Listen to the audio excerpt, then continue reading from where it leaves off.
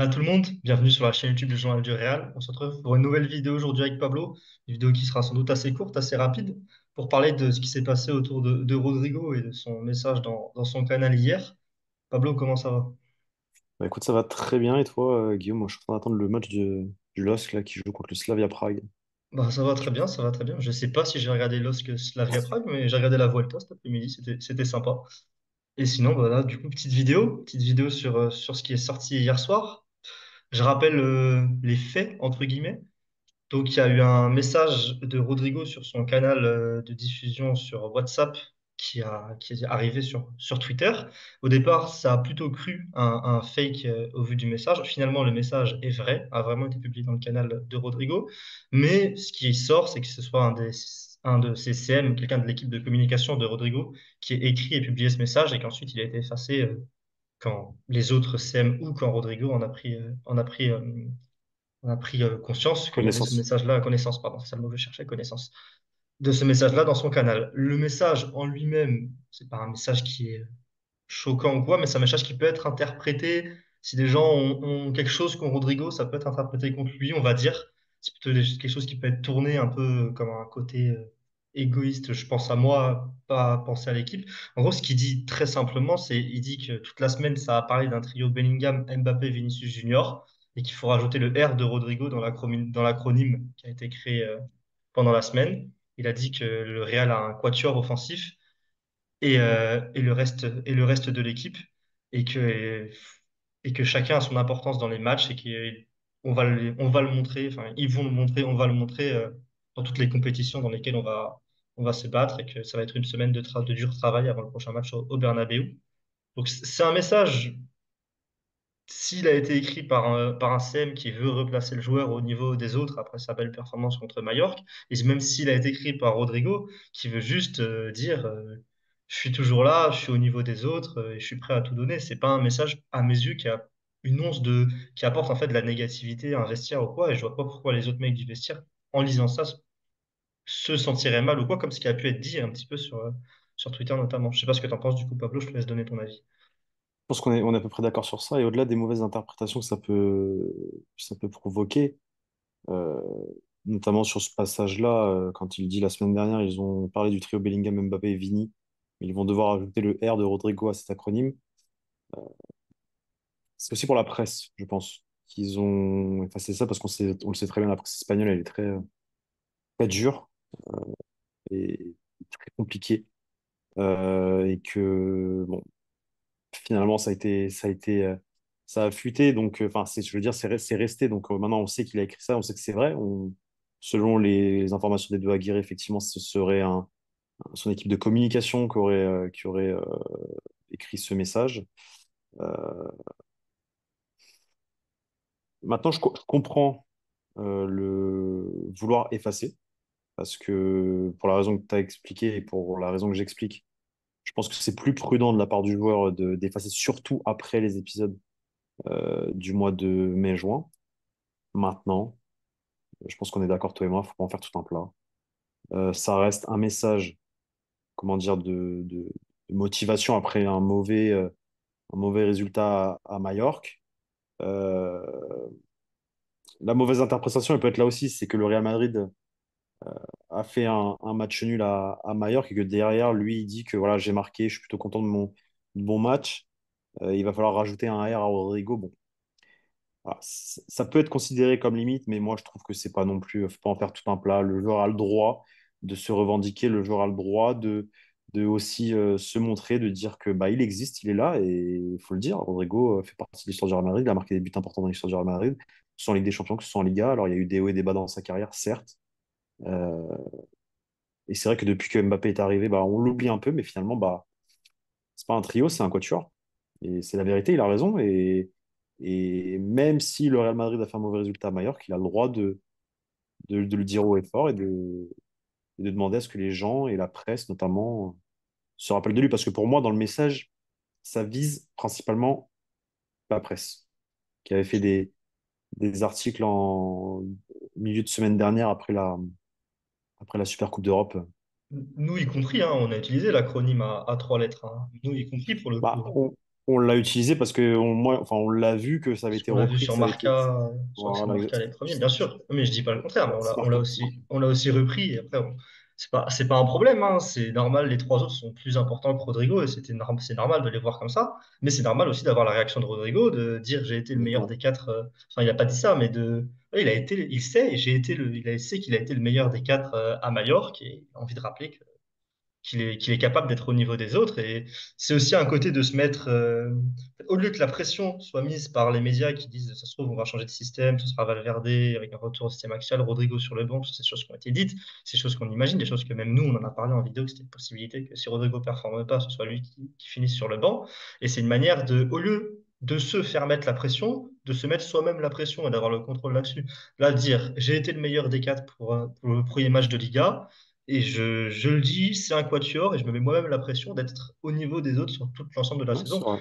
Et c'est vraiment un aspect, ouais, motivation, de se mettre euh, soi-même, de, de recentrer les choses. euh, pas que, pas de recentrer nécessairement sur soi-même, mais juste de recentrer les choses et de dire, euh, voilà, c'est pas, c'est pas choquant en fait comme message du tout.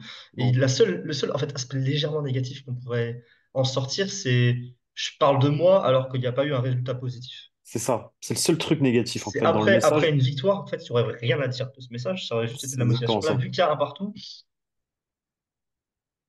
À savoir si c'est pas aussi le club qui lui a demandé de d'effacer. c'est possible aussi. Ça, pour le coup, c'est possible que ce soit le club, soit justement que ce soit vraiment un CM et que ce soit lui qui s'est dit Ah non, j'ai pas envie de. Même si je le pense, j'ai pas envie que ce soit ça qui ressort. Parce que, comme je l'ai dit, moi, dans un cadre privé, que Rodrigo il dise ça, qu'il pense ça à ses amis, euh, à des gens, même à. Enfin, qui, qui disent ça, c'est tout à fait normal. Tout joueur de foot le penserait dans sa situation à dire ça. C'est que le fait que ce soit publiquement qui peut prêter à, à polémique Mais, si- mais en- en- quand tu bosses dans la communication et que tu envoies un message comme ça, c'est que la semaine, tu as travaillé ça. Tu t'es dit, ah, là, dans la presse, il y a ça, ça, ça. Tu prends l'information et tu dis, il faut qu'on communique sur ça. Euh, Rodrigo a marqué et ils en ont profité derrière eux, l'équipe de communication de Rodrigo, pour le mettre en avant aussi, pour rappeler qu'il est là. C'est quelque chose qui est déjà travaillé en amont, ça ne se fait pas direct dans la foulée. Euh, ils voulaient juste attendre le bon moment. Ils ont jugé que le bon moment, c'était Maillard parce qu'effectivement, il a marqué un beau but en plus. Euh, et, et ce, en plus, après une belle performance en, en Super Coupe d'Europe parce qu'il a été très important.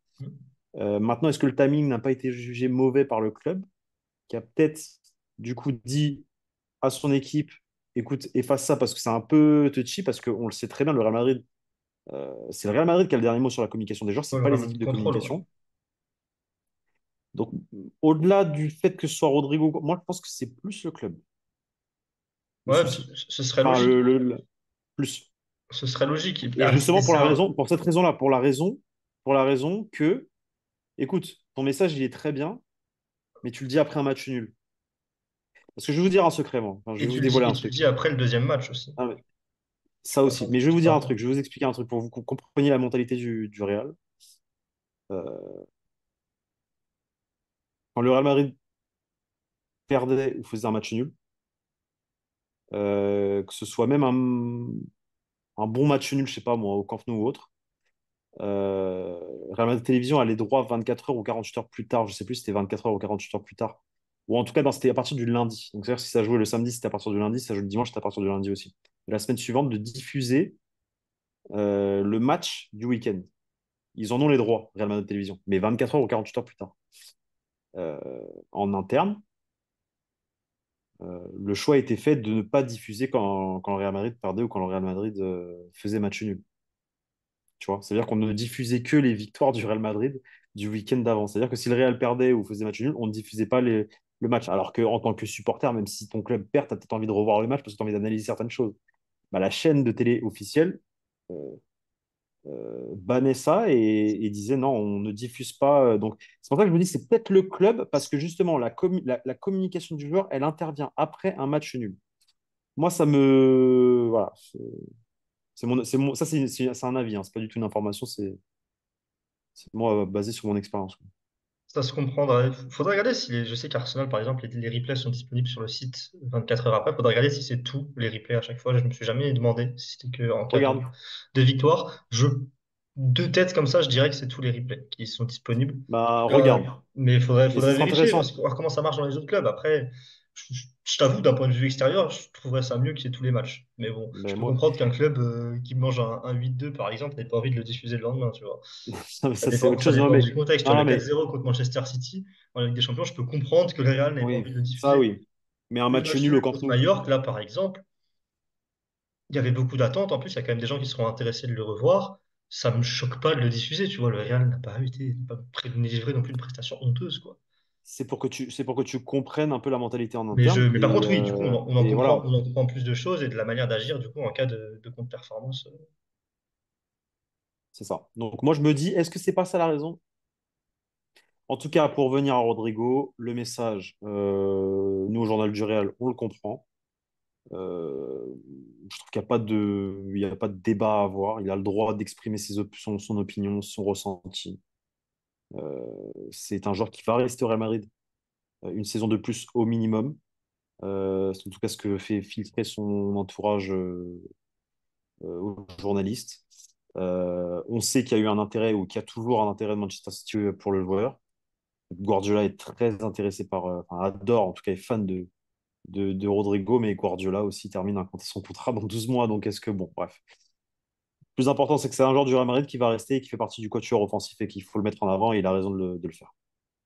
Ouais, je suis tout à fait d'accord avec toi. Pour moi, il n'y a, aucune polémique à avoir. On peut en discuter un peu, mais plutôt en discuter en disant euh, c'est juste un mec qui a, qui a fait le meilleur match des quatre et qui, toute la semaine, a été oublié dans la presse et qui se tape sur le torse et qui dit je suis là aussi, et puis c'est tout. Et c'est pas une réaction euh, illogique à avoir, que ce soit dans, dans un cadre privé. Dans un cadre public, c'est un peu tôt et après un résultat collectif moyen, donc c'est peut-être pas le moment de le sortir, mais c'est pas, ça prête pas à, à polémiquer ou à dire Rodrigo dégage ou, ou des choses comme on peut voir euh, passer chez les plus extrêmes sur, euh, sur Twitter.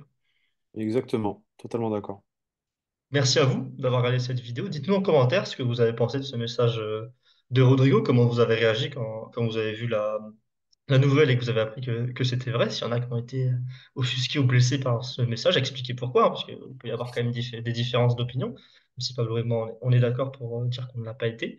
Et puis, bah, on se retrouve très bientôt, évidemment, sur la chaîne YouTube du Journal du Real pour continuer à parler euh, du Real Madrid et, et de tout ce qui entoure le club, même si ce serait bien de ne pas avoir à parler de canaux de diffusion de, de tous les joueurs de l'équipe. Idéal. Merci à vous d'avoir regardé jusqu'au bout. À très bientôt sur la chaîne YouTube du Journal du Real. Salut!